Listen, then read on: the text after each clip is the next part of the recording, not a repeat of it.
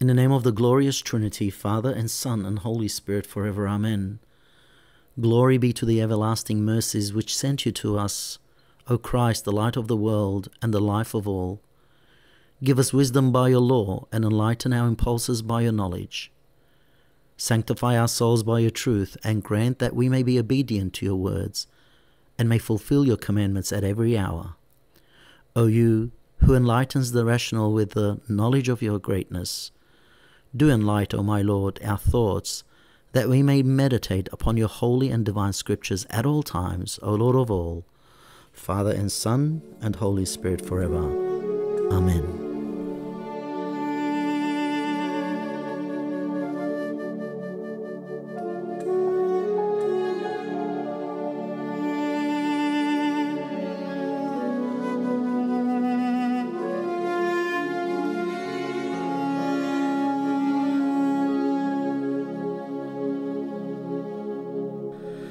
Welcome, everybody, to the Assyrian Church of the East Mater Dei podcast ministries double edged sword. Receive the peace of our Lord and our Savior Jesus Christ wherever you may be, whatever you may be doing.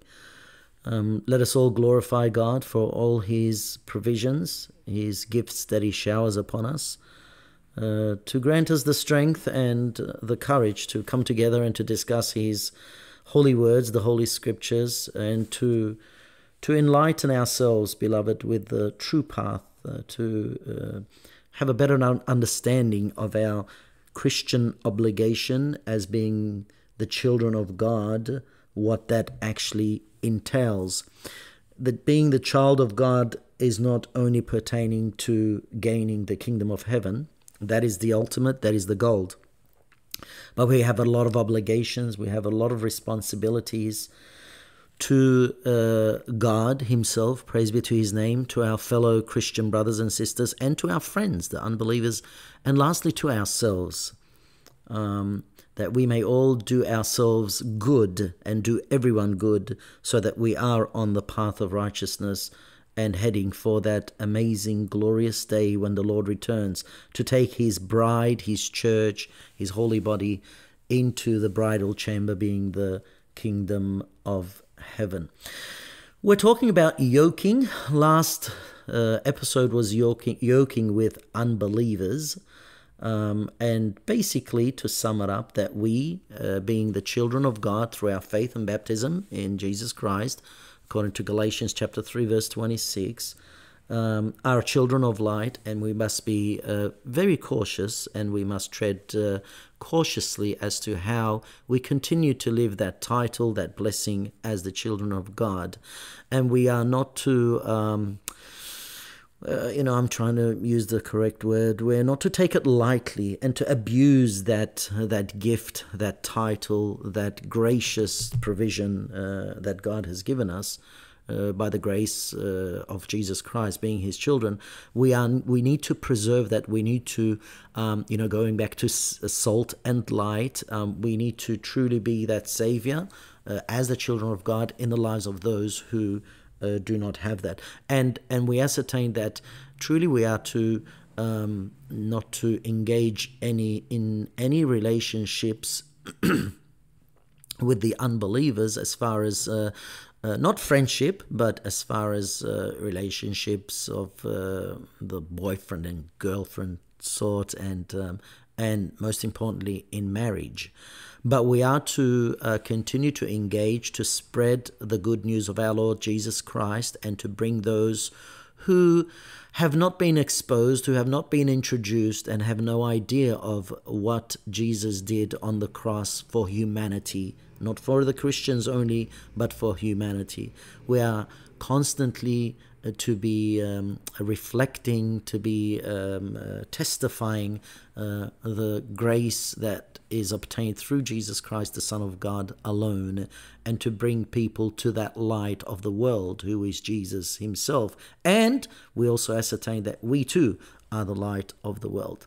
Today, what I'd like to speak about is, um, you know, um, as St. Paul says in his uh, epistle to the Corinthians, uh, 1 Corinthians chapter 5 verse 9 and I read this last week but I'll read it again just as a refresher and Paul goes on to say I have written to you in a letter not to mix with fornicators but I'm not talking about fornicators who are in this world uh, or about the greedy or about extortioners or about idol worshippers otherwise you would be obligated to part, depart from the world. Now he's talking about the non Christians, let's say, without, those who are without.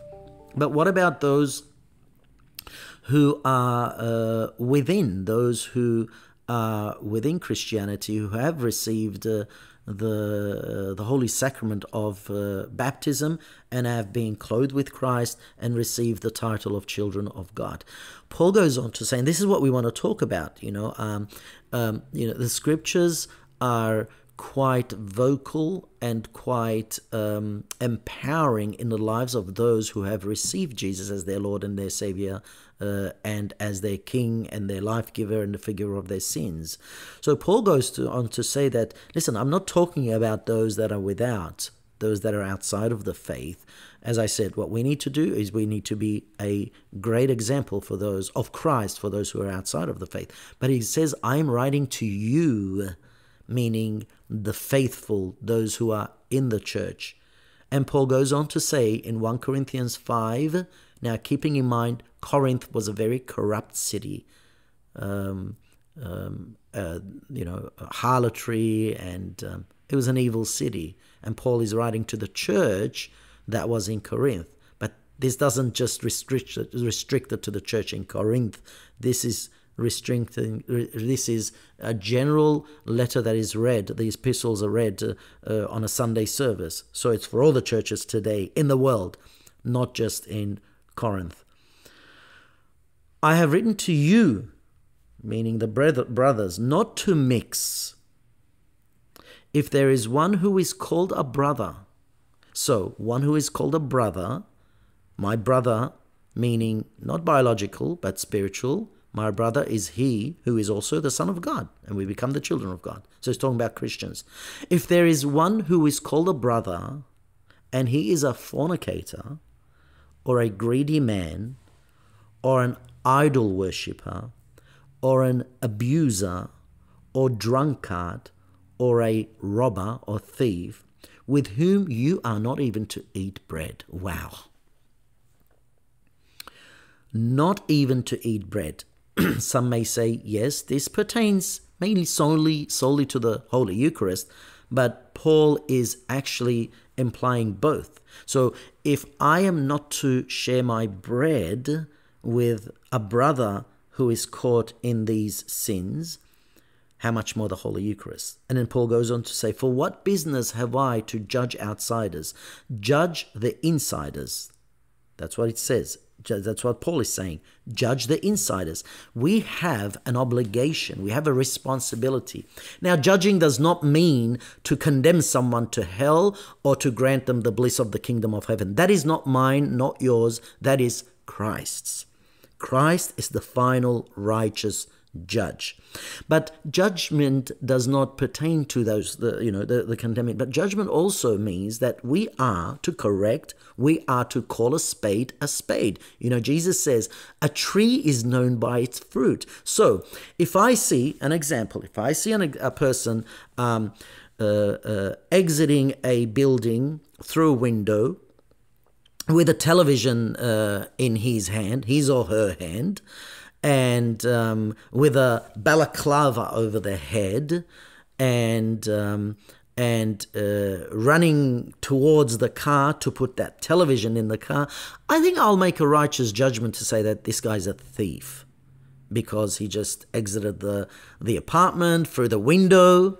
Um, uh, you know, wearing, uh, you know, I gave you the description. So, yes, we can judge. I mean, Jesus Christ Himself a tree is known by its fruit. You can make a judgment on a tree by its fruit. If someone constantly cusses, every second word is the cuss word, you can make that righteous judgment and say, this person is in sin because he is constantly cussing. If someone constantly gossips and slanders people, You can righteously make that judgment. Say this person is a slanderer, is a uh, is a uh, one who likes to gossip. So that's why Paul says, judge the insiders.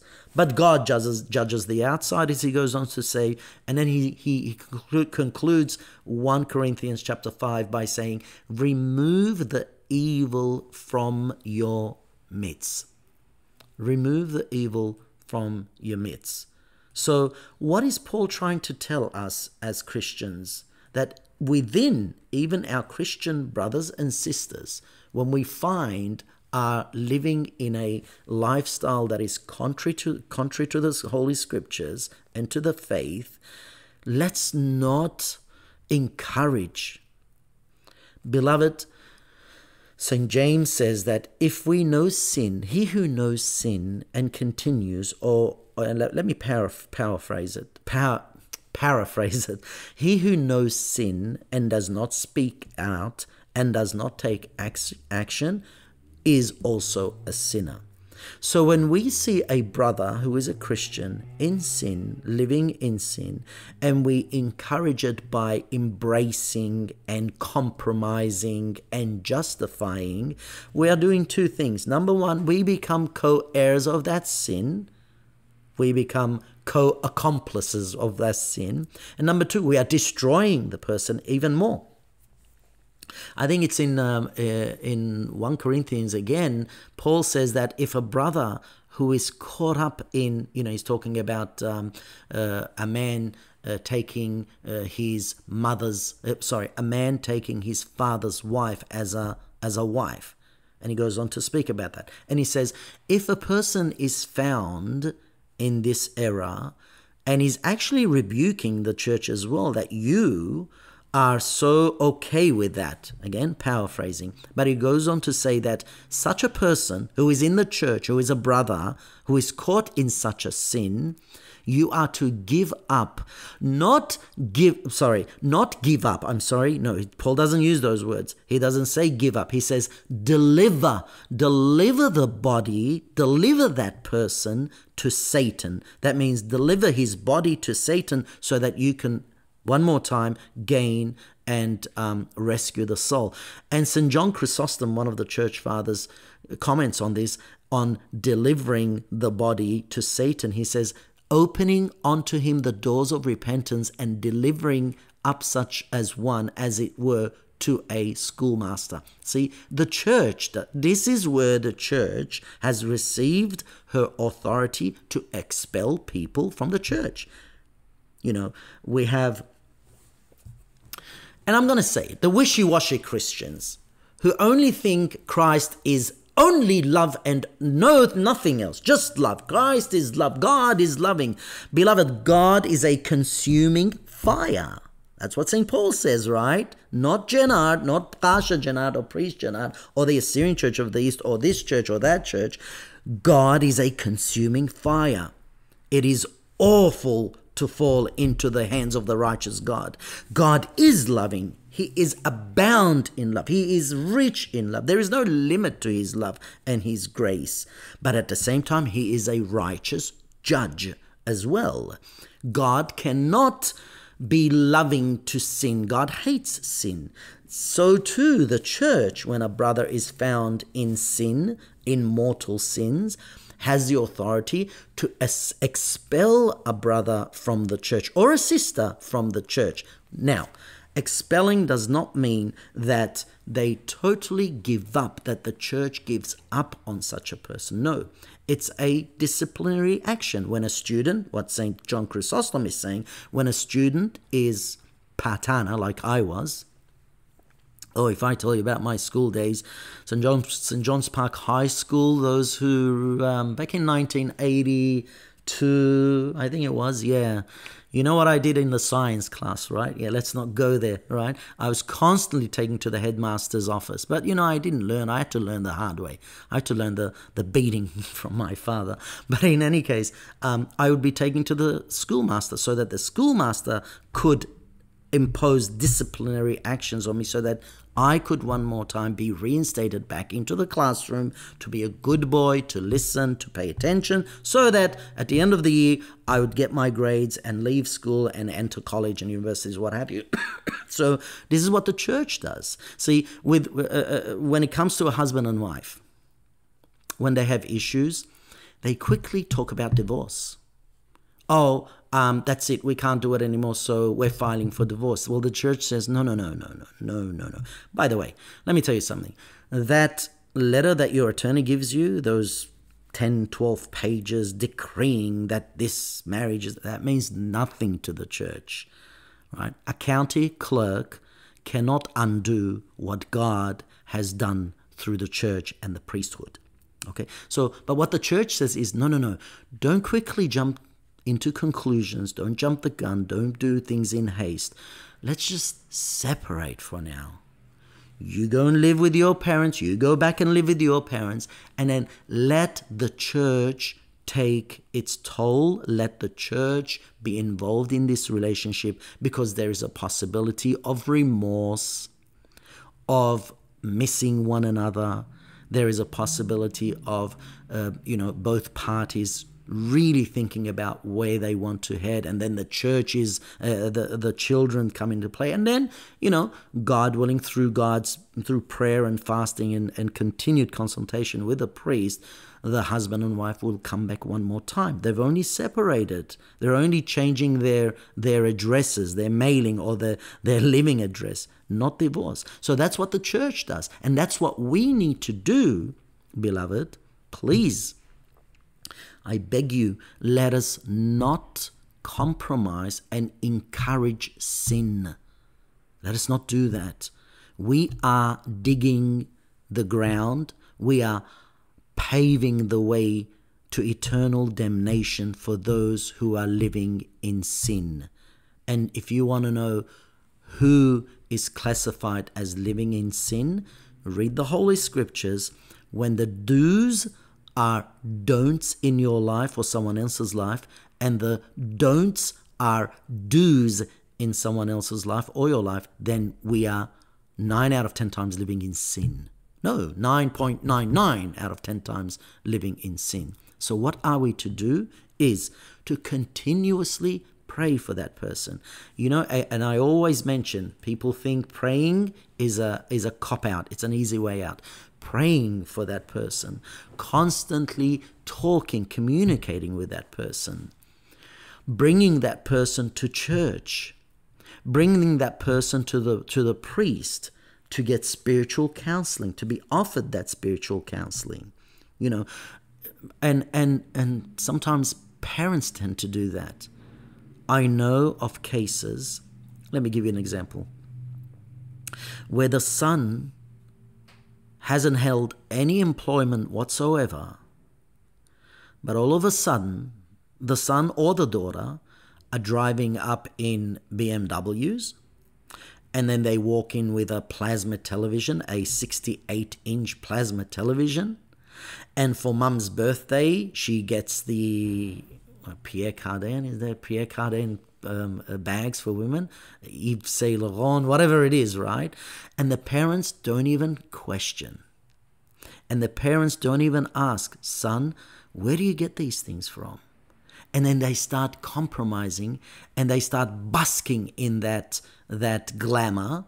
And then when the police turn up with the sheriff and raid the house and cuff the child, either the son or the daughter, and that the child has been sentenced to 20 to 30 years in jail or in prison, and then the mother starts crying, saying, I did not know. Well, the question is, hey, I'm sorry. No, you knew very well your son or your daughter had no employment, so you didn't ask where are you getting these these goods from, right? Because we begin to compromise. We begin to be, uh, uh, you know, uh, turning the blind eye. We should not be doing that with our Christian brothers and sisters. And in particular, let me even bring it down closer to home. You know, every Christian today is associated with a family, meaning a church family. Okay, so this, let's say, for example, this is the um, the Assyrian Church of the East uh, podcast, not limited only to those who are members of the Assyrian Church of the East. It's uh, you know the Word of God you cannot limit to, it, but we need to bring it down and say, for example, within the church, even within our group of friends, if a friend is caught in sin, you know, St. Paul says, You who are spiritual, don't compromise, don't embrace, don't encourage, don't justify, don't find excuses for that person, but be ready to rebuke so that you can correct. The Holy Scriptures. The Holy Scriptures are one of the purpose of the Holy Scriptures are for correction. Those scriptures that are, have been inspired by the Holy Spirit are good for correcting. We must correct one another. Yes, it is hard. Yes, how can you're telling me, Rabbi, that a friend of 20, 30 years, I'm just supposed to totally um, um, take out of my life and have nothing to do with that person? Well, no, I didn't say that. I said that you are not to uh, mingle in the same sin, you are not to compromise that lifestyle. You are there to always correct. And yes, if there is no correcting, if there is no repentance, well, it's it's for the best. You know when when when you go to the doctor and the doctor needs to um, operate on you it's not a good thing. He cuts you up. He opens you. He puts a knife to your skin or sutures they call it i think yeah well let's call it a knife to your skin he opens you he cuts you he makes you bleed and so I've seen some operations, like back operations. I saw one operation where this person had a back problem. The doctor had a pliers on one of the disc bones and he was jumping up and down trying to break the disc. And I thought, my God, what's he, is he trying to kill this person? No. And I'm sure if the person wasn't under the, the um, what is the anesthesia, anesthesia, yeah, that person would be, would be would be dead. But the pain that the the force that the doctor was um, was uh, inflicting was for the good of that person. Sometimes we need to cause pain. We need to cause heartbreak, and that's you know Saint Paul says that. Saint Paul says in his in his um, epistle to I believe it's the Corinthians that it saddens me that I have saddened you. Again, let me paraphrase it, right? It saddens me. It, I don't take pleasure to to cause sadness and grief. It grieves me to grieve you, but I'm happy that I grieve you because your grieving is good for your repentance.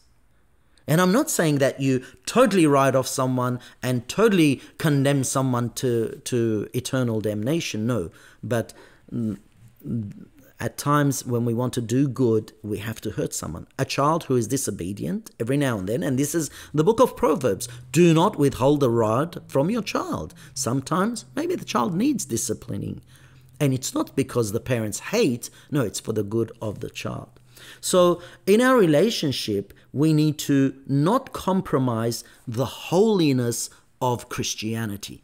This is very important. The sanctity of Christianity, the sanctity of being called the children of God. Unfortunately, I'm going to admit, and I'll probably be reprimanded for this, but you know what? Let God be glorified and let you know, let God, let Christ increase, let me decrease. This is the problem with churches today. This is the problem we have with churches. Being shy to speak about openly speak about the sin that today the world is is is portraying.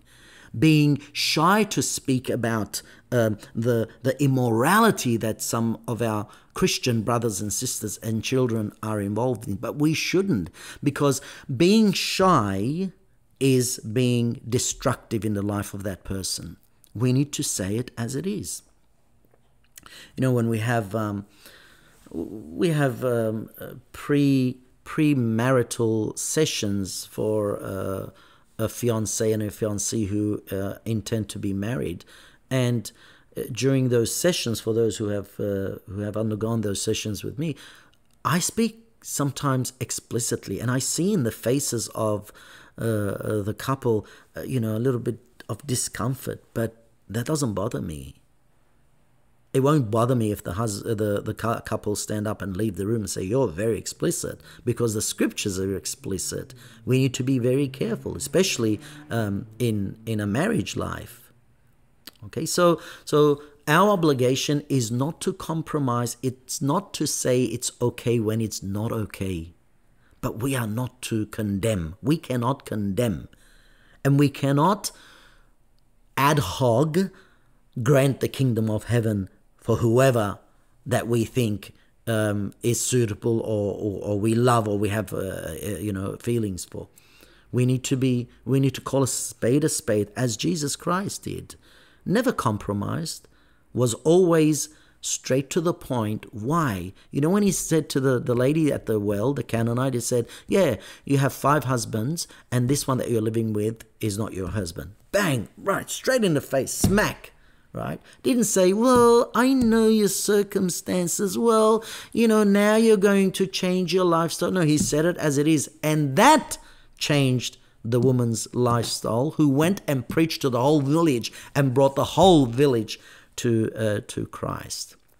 We had a, a, a question about um, in, a, in a marriage relationship you know sometimes in a marriage relationship we have a, a one-sided um, um, commitment in faith, either the husband or the wife.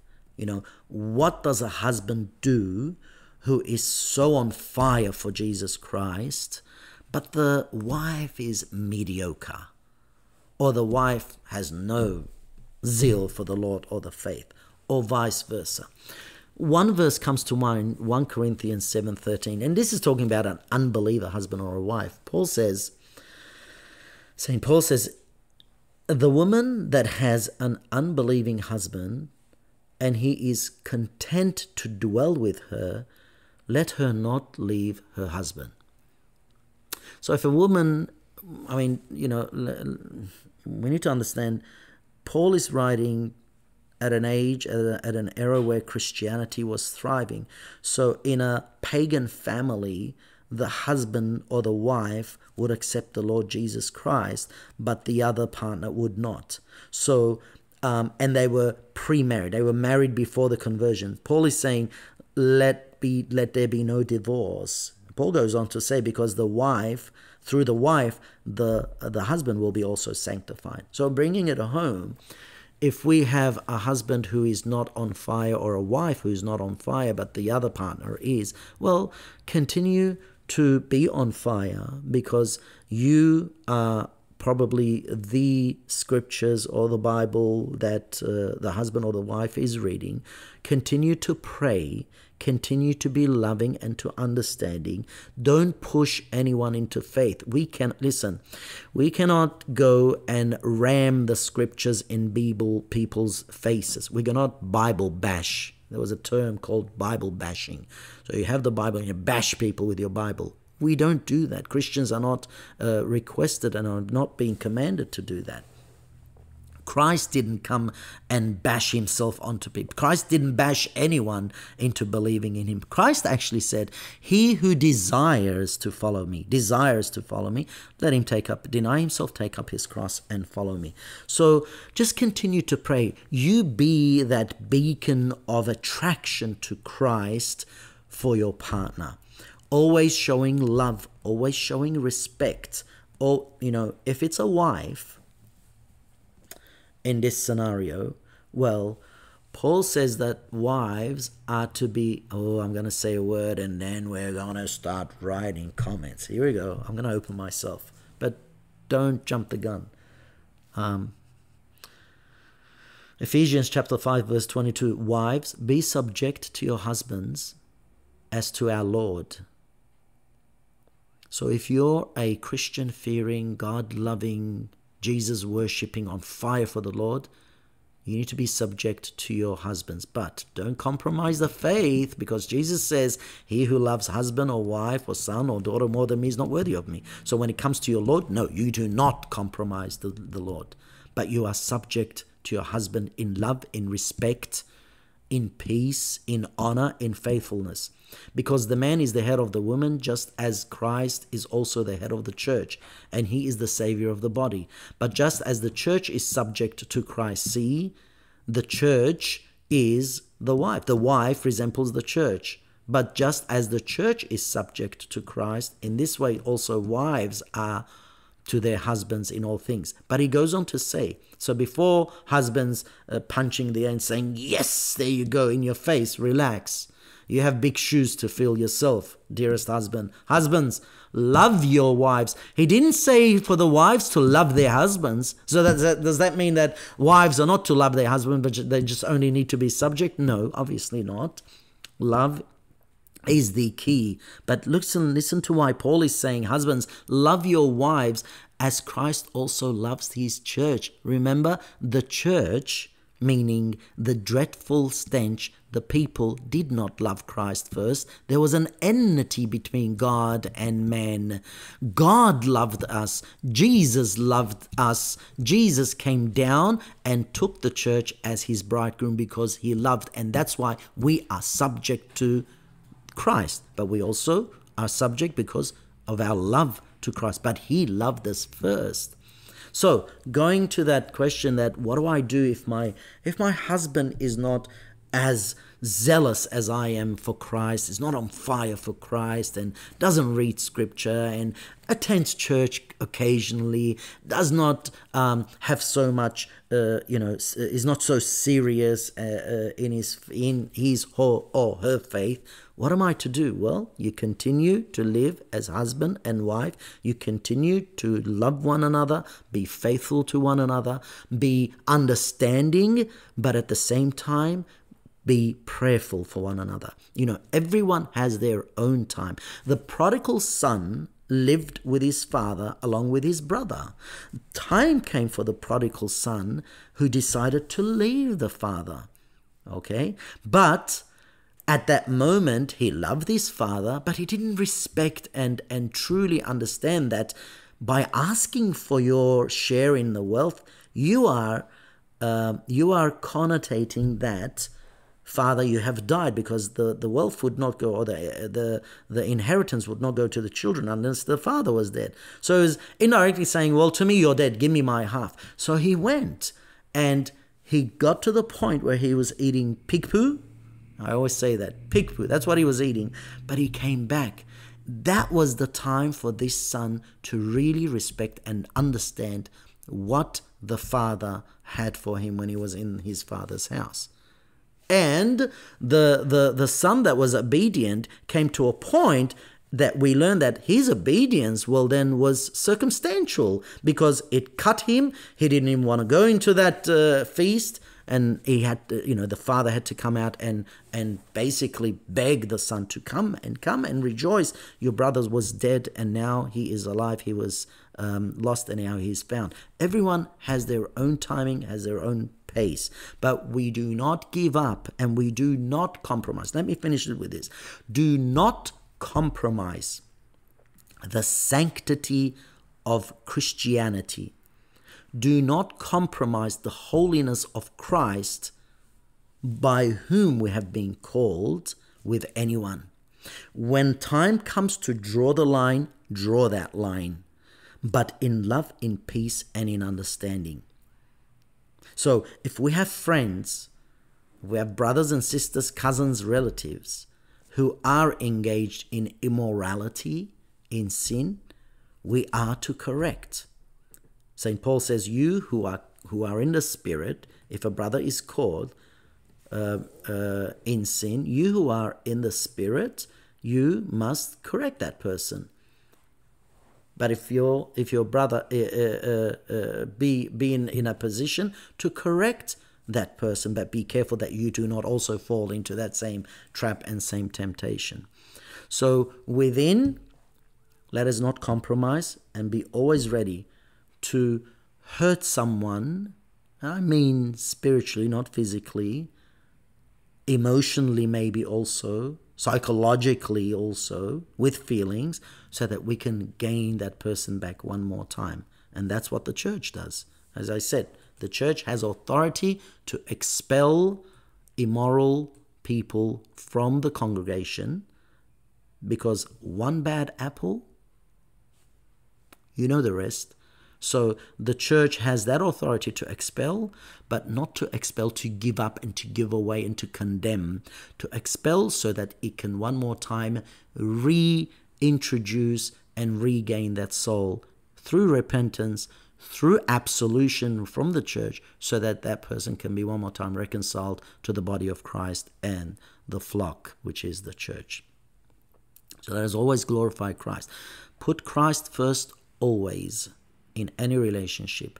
If Christ is at any time compromised, walk away from that relationship and continue to pray and to fast as we are fasting during this Lenten period.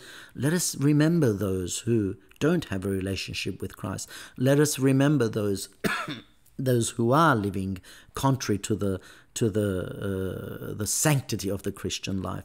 Let us offer that one day fast for that person, for that group, that the Lord will somehow through his miraculous and loving and kind way and his perfect timing use us as those tools to bring back and to win that soul one more time. And at the end of the day, all glory is to be given to Christ, our Lord, our God, our King, our Savior, our life giver, and the forgiver of our sins. Amen.